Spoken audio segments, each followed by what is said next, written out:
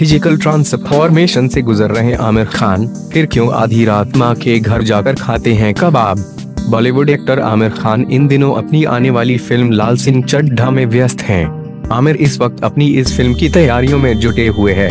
आमिर खान अपनी फ़िल्मों की शूटिंग समेत सभी अन्य चीज़ों का पूरा ख्याल रखते हैं अपनी फ़िल्मों के साथ वे अपनी बॉडी का लुक भी रोल के हिसाब से ढालते हैं इस फ़िल्म में आमिर अपने से कम उम्र के शख्स का किरदार निभाते हुए नज़र आएँगे रिपोर्ट्स के मुताबिक फ़िल्म के किरदार में ढलने के लिए आमिर 20 किलो वज़न कम कर रहे हैं। वज़न कम करने के लिए आमिर खास वेजिटेबल डाइट फॉलो कर रहे हैं। लेकिन क्या आप जानते हैं कि वेगन डाइट फॉलो करने के बावजूद भी आमिर देर रात अपनी मोम जीनत के घर जाकर कबाब खाते हैं? आमिर खान के करीबी सूत्रों ने बताया कि Aamir Khan special protein heavy diet follow कर रहे हैं।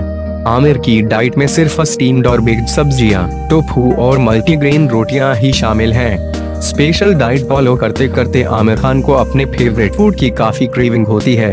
इसलिए पिछले कुछ हफ्तों से आमिर खान आधी रात को अपनी मोम के घर जाकर उनके हाथों के बने कबाब खाते हैं। लेकिन आमिर खान की डाइट को ध्यान में रखकर उनकी मोम ने अब डाइट फ्रेंडली वेजिटेबल्स कबाब बनाने शुरू कर दिए हैं। आमिर खान को जब भी खाने की क्रेविंग होती है तो वो अपनी मोम के घर जाकर कबाब खाते हैं। वर्क फ्रंट की बात करें तो फ़िल्म लाल सिंह चड्ढा में आमिर खान के साथ करीना कपूर भी नज़र आने वाली है। इससे पहले दोनों सितारे फ़िल्म तीन इडियट्स और तलाश में एक साथ नज़र आ चुके हैं। इस फ़िल्म को अद्वैत चंदन डायरेक्ट कर रहे हैं।